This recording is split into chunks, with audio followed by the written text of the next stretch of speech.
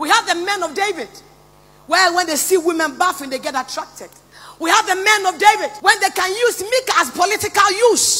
We have Abraham, who is ready to stay and wait for the purpose. We have the Sarahs, who are ready to pursue their husbands to go be- beyond or go before God. They are men with different characters. We are all not the same. They are men with oil, but they still have that attitude. So it doesn't matter how you see yourself. One way or the other, you are connected. Abigail, married to a fool. If you are not careful, you choose just any man as your head, you are in trouble. And if you are a man, then you choose a woman like Jezebel, you are in trouble. But there is other parts of Jezebel you need to know. She support. We, even though she's a negative woman, she was eager to stand and tell the husband, relax, whatever is yours, I'll take it for you. So there are other good part of Jezebel. Please don't don't just label her wrong. We have the Leahs that their husbands don't love them and they will do everything to make their husbands love them. We have the Rios who are loved by their husbands and because of their jealous heart, their womb is closed. We have the Marys that were anointed and God gave them the seed. I want to locate all of us in one place so you understand who you are.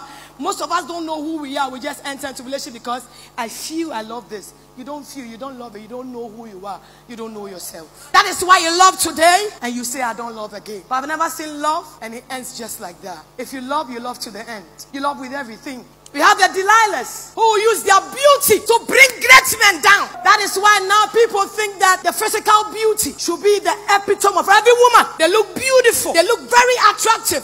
Some are even go to the extent of expanding their backs and their fronts. All because great men are always falling. Men with vision can collapse because of a Jezebel. You may be too much anointed, but please don't stop believing yourself too much. It takes the grace of God. You may know the Bible, you may know everything, but let me tell you, be careful when it comes to things like this. Let God rule, I beg you. Let God rule. Because if you're not careful and you meet your Delilah, you are in trouble. You know, men of say this because I'm a woman of God. Many men of God can't tell you the truth, but they are falling. They pretend like the way Saul was pretending as if God was with him, but God has already left. We preach with anointing, but we are dying inside. We can't tell anybody. We walk with our husbands as if we are perfect couples, but you are lying. You are fighting and you are dying inside.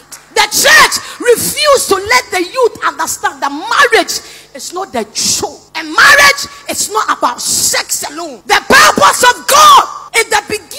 to bring the woman to come in connection with the man to help the man for the vision of God to be accomplished. The man was the one God directed and gave power to control and to lead. Every man rules. But without the woman, the vision of God cannot be accomplished. When Eve ate the fruit and told the husband, I've eaten the fruit. I was expecting the man with all authority and power to say, My God, you've made a mistake. Let me deliver you. But the man ate. But the moment God appeared, the man started giving excuses. There are men who are just there to accuse you.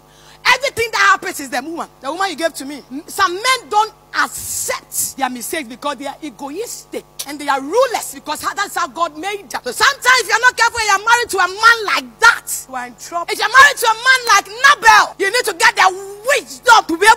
that man because he is a fool. It took Abigail to run ahead of the husband to go to David and tell David, My husband is a fool. Oh. You don't know his name. The meaning of his name is a fool. So I beg you with all respect. I want to stand in. If there is any curse that you want to give to my husband, look unto me and bring the curse on me. David looked at Abigail and said, Wow, what kind of woman is this? There are women who will cover their husband's shame and prevent them from untimely death. But if you're a woman like that, I beg you, don't go for Nabal. For the rest of your life, you'll be solving issues.